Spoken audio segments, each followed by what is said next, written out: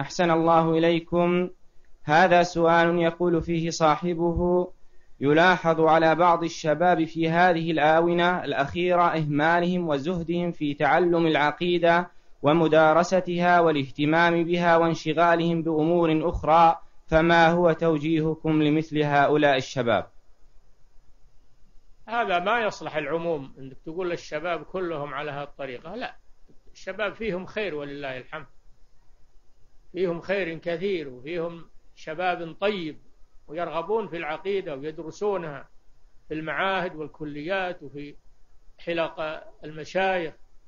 لكن بعضهم قد يكون بعضهم إنه ما يهتم بالعقيدة ولا شك إن هذا نقص وخطأ.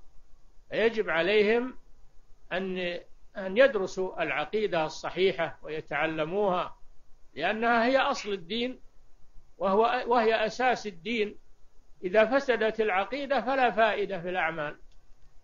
وإذا صلحت العقيدة صلحت الأعمال وقبلت فهي الأساس. نعم.